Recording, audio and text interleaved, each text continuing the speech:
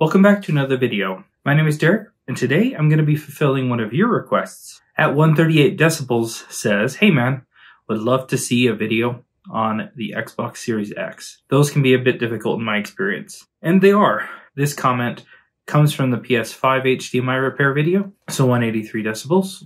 Let's do it, Xbox Series X.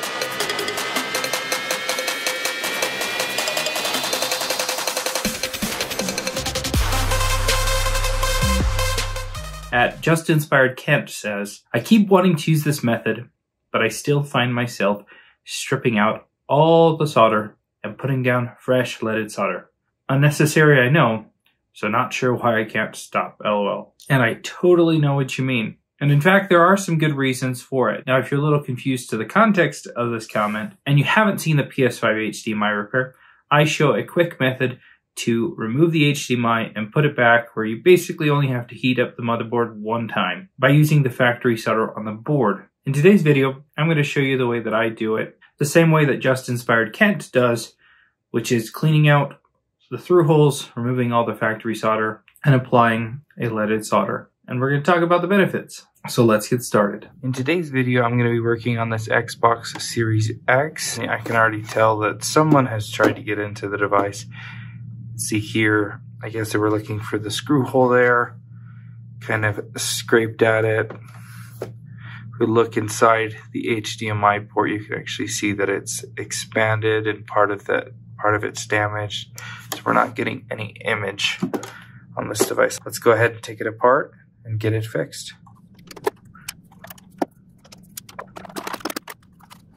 Now we just need to pry on the little tab here and twist and that should pop right off. Got a couple more screws down here that we can take out.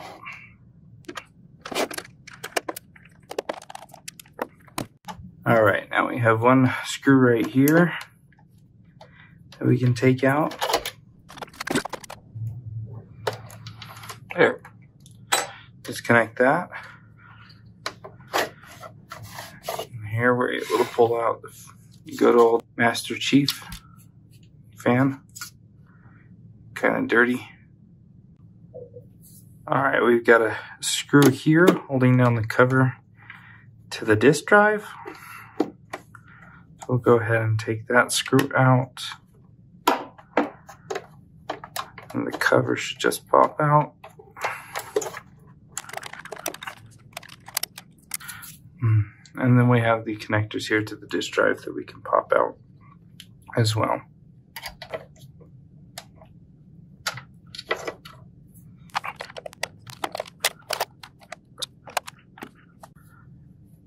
All right, now that we have that out, I'm going to remove this cable from this connector and this connector. Now you can't just pull on these. There's a, a little tab that you need to click up. So we'll go ahead and gently get in there and flip up this. There, you see that? That way we can pop this connector.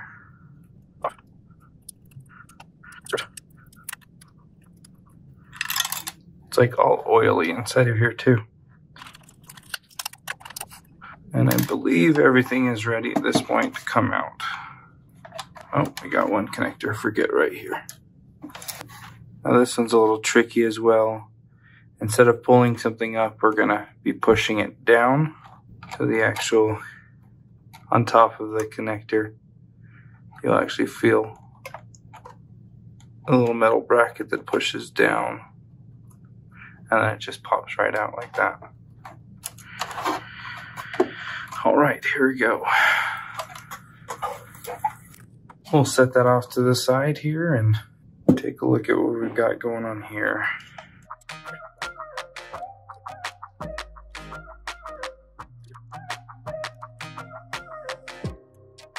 After washing my hands, because this is getting gross, let's put on some gloves, because this is nasty.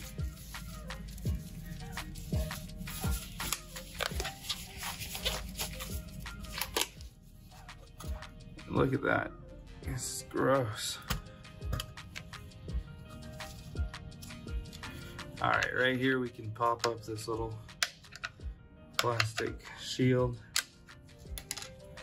And here we got the power supply. Got three screws down here in the corner. All right, on the power supply, we've got a screw here, there, there, and there.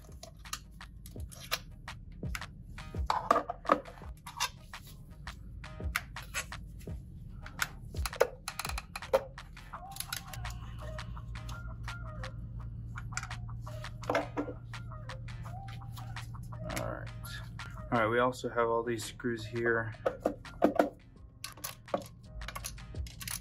I also have all these screws here that are holding down this shield.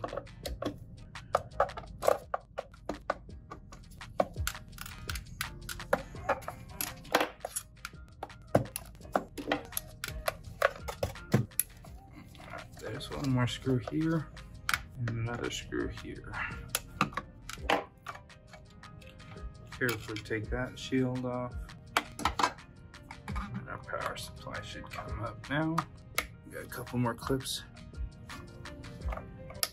here. Disconnect that guy. And then there's a clip here and pull up. All right.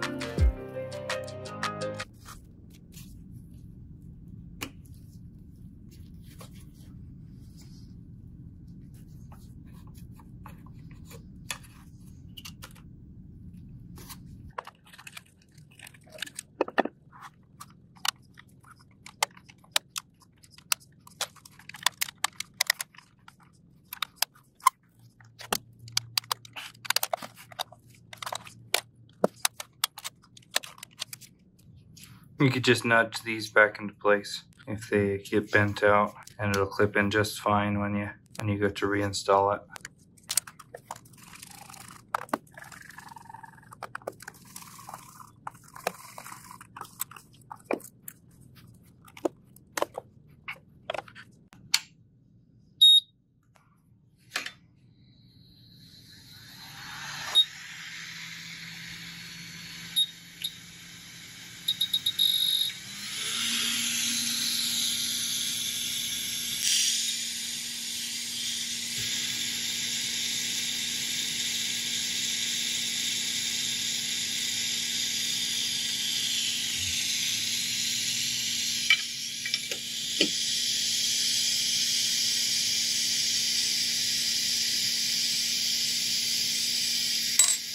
Now, why remove all of the solder from the through holes and the pads? Well, the factory solder, in my experience, isn't the best on the Xboxes. And it's much easier to get a component to be completely flush against the board if you completely remove the solder. That way the pins are already making contact with the pads even before they receive solder. Theoretically, if the pins have compression against the pads, it'll work without solder. And that's basically as close as you want it to be anyway. Leaded solder is much easier to work with as well. I just love the way that it melts versus a non-leaded solder. So let's have a conversation down below. What do you think is the better method?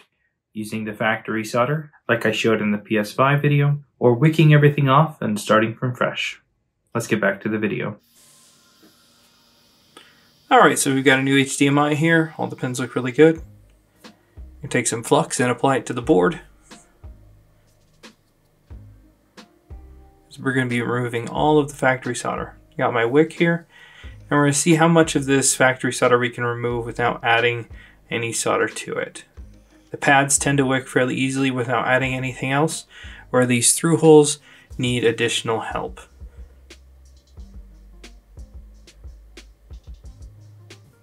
I'll even wick, wick away these ground pads. Here I've got some low melt leaded solder. You can even add this low melt before you remove the HDMI to all of the pins and legs and it'll help remove in the process. add plenty of flux and really combine and mix the factory solder with the low melt.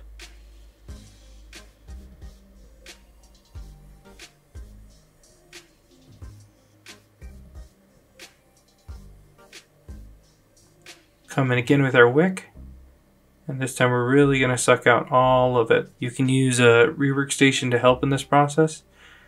But with the right low melt, wick, and temperature on your iron, you should be able to get it all out. I'm going to add some leaded solder to the legs and really secure them in place. Now all of the pads are touching the pins and we're going to add some flux and individually place fresh leaded solder on each one of the pins using the soldering iron.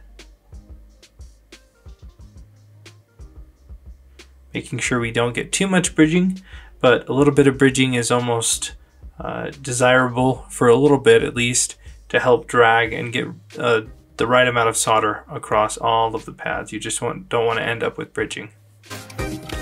Alright, after having soldered on and cleaned up the HDMI port, it's time to reassemble this.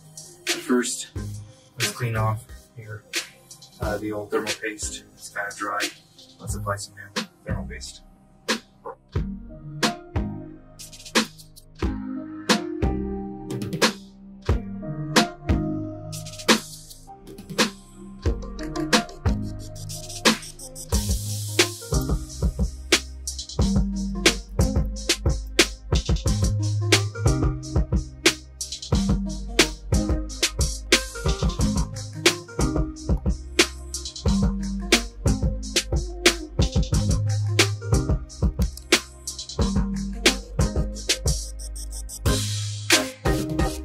Now we'll just take the time to reassemble everything, making sure we don't miss a single screw, a single bracket, a single anything. There's a lot that goes into making sure that this goes together properly. So take your time, make sure you know where everything goes.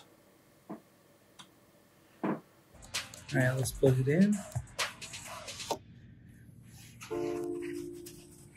And let's turn it on.